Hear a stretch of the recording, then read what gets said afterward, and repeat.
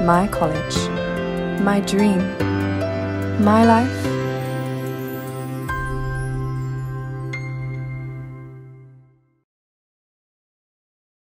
안녕하세요 여러분. MRCC의 미리입니다. 자 오늘은 저희가 기본적인 것들을 한번 over 하려고 이런 영상을 찍어 보았는데요. 저희가 지금까지는 조금 더 어려운 토픽을 세분화로 얘기했다면 오늘은 기본적인 강의를 들어가겠습니다 그래서 올해 대학 입시 원서가 다가오고 있는데요. 이 부분에 대해서 이제 얼리가 많고 또 레귤러에도 여러 종류가 있고 하니 굉장히 헷갈리시죠? 그래서 저희가 오늘은 early decision 1, 2 그리고 early action, restricted early action, 그리고 regular까지 저희가 하나하나 다 짚고 넘어가 보도록 하겠습니다. 고고싱! 번째 early decision 1인데요. 그래서 early decision 1이 있고 2가 있고 그리고 그냥 early decision도 있습니다. 그래서 early decision 1하고 2는 보통 기간이 다른 건데요. early decision 1하고 2, 두 개다 apply 할수 있냐는 질문이 굉장히 많이 들어오는데 네, 할 수 있습니다. 그래서 early decision 1에서 apply를 했는데 reject가 됐다 하면은 2에 이제 apply를 하실 수 있습니다. 그래서 첫 번째 early decision 1을 조금 더 들어가 보자면 데드라인은 보통 11월 1일 아니면 11월 15일이 되는데요. 그래서 보통 decision은 12월 중순에 받아보실 수 있는데요. 여기에 합격을 하시게 되면 early decision은 보통 바인딩이기 때문에 무조건 가셔야 됩니다. 그리고 early decision은 한 군데만 apply를 하실 수 있습니다. early decision 2로 한번 넘어가 볼게요. Early Decision 2는 기간에 따라서는 regular와 이제 겹칠 수가 있는데요. 보통 그래서 내셔야 되는 데드라인은 regular와 같이 12월에서 1월이라고 보시면 됩니다. 그리고 decision은 보통 2월쯤에 받아보실 수 있는데요. Early Decision 1과 같이 한 군데에만 apply를 하실 수 있고 붙으시면 binding 무조건 가져야 됩니다.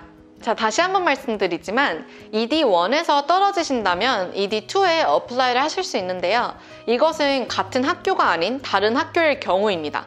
그래서 이 학교에서 ED1에서 떨어졌다 하면 이 학교에 관한 decision은 이미 끝난 거기 때문에 ED2를 같은 학교에 apply 하실 수는 없습니다. 자, 세 번째, early action으로 한번 들어가 볼게요.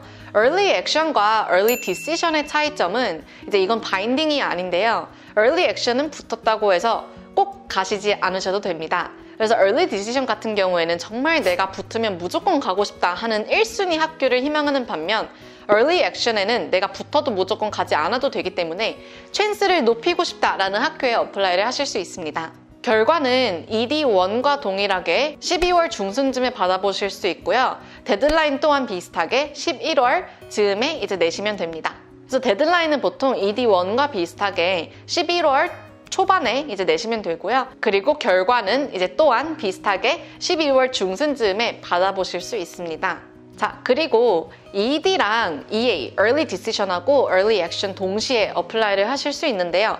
대신에 그 모든 것을 합격할 경우 ED는 binding이기 때문에 ED를 넣은 학교에 들어가셔야 됩니다.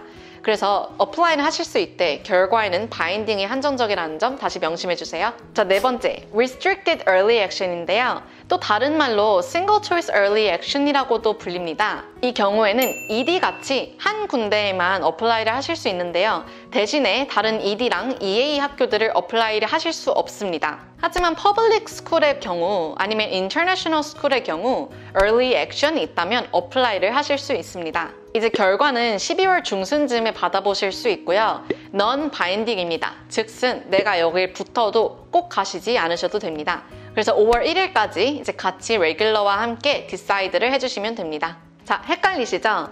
그럼 early를 한번 어떻게 하면 좋을지 저희가 차근차근 다시 짚어보아 드리겠습니다. 케이스를 여러 개 보여드리자면 이제 EA를 여러 군데 넣으실 수 있고 그리고 ED를 한 군데 같이 동시에 넣으실 수 있습니다. 두 번째, 이제 early action과 restricted early action을 동시에 하실 수 없습니다. 세 번째, ED1과 restricted early action을 동시에 하실 수 없습니다. 자, 그래서 case study를 한번 가보자면 학생이 스탠포드 restricted early action을 apply 할 경우 MIT early action을 넣을 수 있을까요? 땡! 아닙니다. Restricted Early Action과 Early Action을 동시에 넣으실 수 없습니다. 자, 이 학생이 Harvard Restricted Early Action에 넣을 수 있을까요? 땡! 아니요, 넣으실 수 없습니다. 이 학생이 그러면 UC 버클리에 넣을 수 있을까요?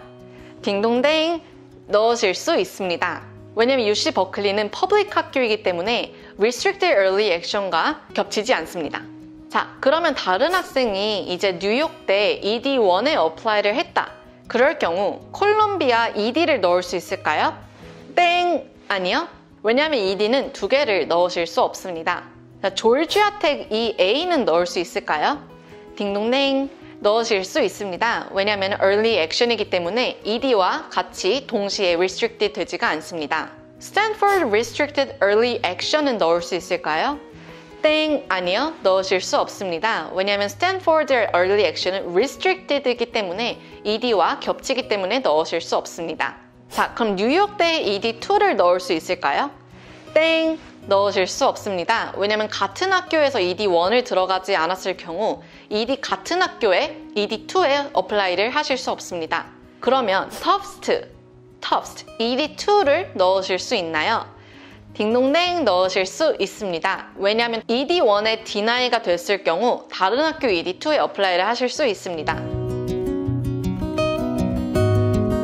그래서 저희가 여기까지 ED1, ED2, Early Action, 그리고 Restricted Early Action까지 전부 다 알아보았는데요. 이렇게 기본적인 것들이 굉장히 헷갈리실 수가 있어요. 그래서 이 영상이 굉장히 도움이 되셨길 바라고요. 언제든지 질문이 있으시다면 저희에게 이메일 주시면 감사드리겠습니다. My college, my dream, my life. 저희는 당신의 여정을 항상 응원하고 지지합니다. 화이팅!